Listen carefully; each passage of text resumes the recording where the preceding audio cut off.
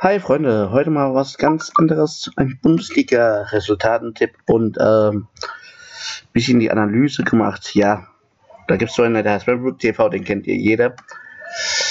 Er meinte immer er wird König. Ja, letzte Woche vor Power habe ich alle Spiele richtig, er alle falsch, wie immer. Selbst ich tippe jetzt zurzeit nicht mehr, weil es manchmal bringt Glück, manchmal auch nicht. Aber die Ergebnisse, wo ich heute getippt habe, können eigentlich auch zu 90% fallen vielleicht auch 100%, wenn einer gewinnt, der kann mir ja was abgeben.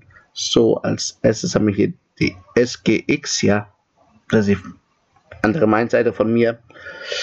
Gewinnt locker 2 zu 1 gegen den FC Augsburg mit einer Einserquote von 1,93. Der VfL Wolfsburg 1 zu 1 gegen Fortuna Düsseldorf ist ein X mit 4er Quote.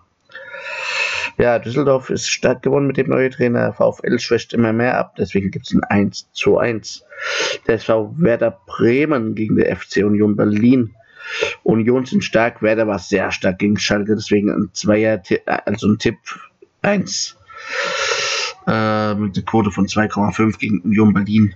Hertha gewinnt gegen Mainz locker 1 zu 0. Das hat man auch gesehen gegen Schalke. War das gegen Schalke? Ja, es war gegen Schalke.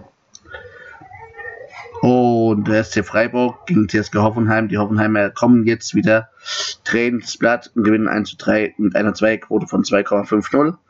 Der FC Schalke gegen Paderborn. Schalke gewinnt 3 zu 1 mit einer Einserquote von 1,45. Bayern Leverkusen 2 zu 2 gegen Dortmund mit X315.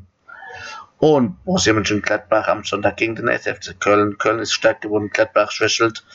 Deswegen auch ein X mit 4,15er Quote. Und der FC Bayern gewinnt gegen der Locker 3 zu 0 mit 1,43er Quote.